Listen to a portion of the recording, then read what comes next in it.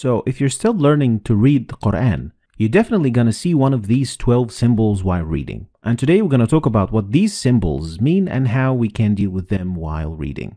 We're going to start with the first one. And it's a symbol that looks like meme. And it means you must stop while reading. Otherwise, the meaning of the ayah or the verse will change. So in this example, you should stop at the symbol by reading إنما يستجيب الذين يسمعون والموتى يبعثهم الله ثم إليه يرجعون So we have to stop at the symbol of meme.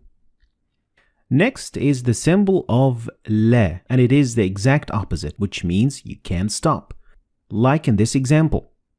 ما أنفقوا منا ولا أذى لهم أجرهم عند ربهم So you can't stop here and especially you can't start reading from after the sign.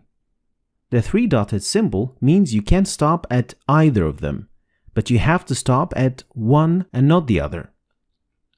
So in the second ayah of Surah Al-Baqarah, you are allowed to stop at the first one by reading ذلك الكتاب لا ريب فيه هدى للمتقين or by stopping at the second one by reading ذلك الكتاب لا ريب فيه هدى للمتقين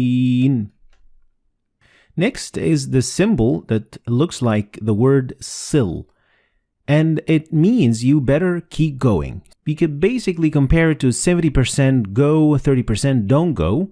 And it means that it is better to keep reading. Like in the example, كلا لينبذن في الحطمة. Next is the symbol of kill, which is the exact opposite of sill and it means it is better to stop. So 70 30% to stop or to go. Like the example, وأيدناه بروح القدس أفكلما جاءكم رسول So it is better to stop at the sign. Next is the sign of Jim. And Jim gives you gives you 50-50 percentage of going on stopping. They are equally the same. Like in the example, فسبح بحمد ربك واستغفره إنه كان توابا Or you could just keep reading and it would be equally good.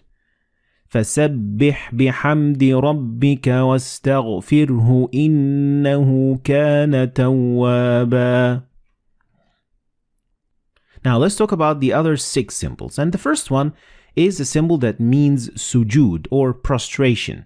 And in total, there are 15 of this sign.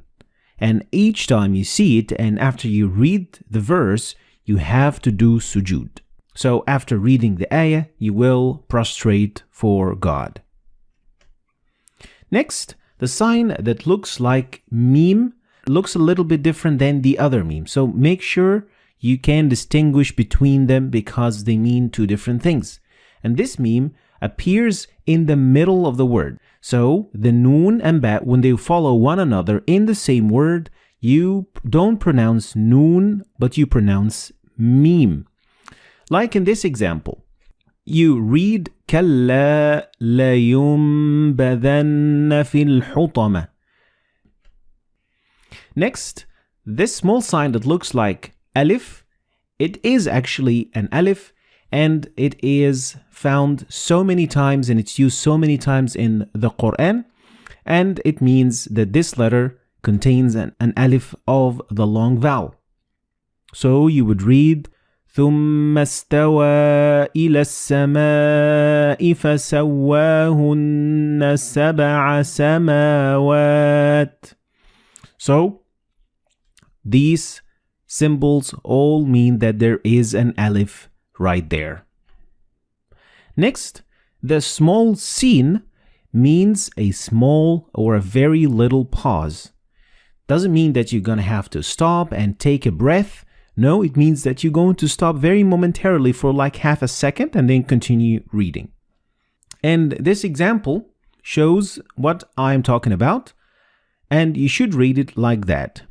كلا بل ران على قلوبهم ما كانوا يكسبون. So it is a very short pause. Next is the sign of med, and it is a very common sign in the Quran, and it means that you need to extend the pronunciation of alif to a little bit longer than usual. The last sign that we're going to talk about today is the sign of the end of the quarter of the chapter or juz. The juz is divided into eight quarters, and uh, at the end of each quarter, you are going to see this sign.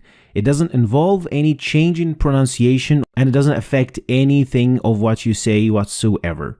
So it is just for the division of the Quran. So these were the 12 signs that you are going to see in the Quran.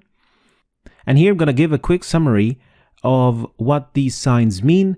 Try to remember them. And of course, the best way to learn them is by reading a lot of Quran because practice makes perfect.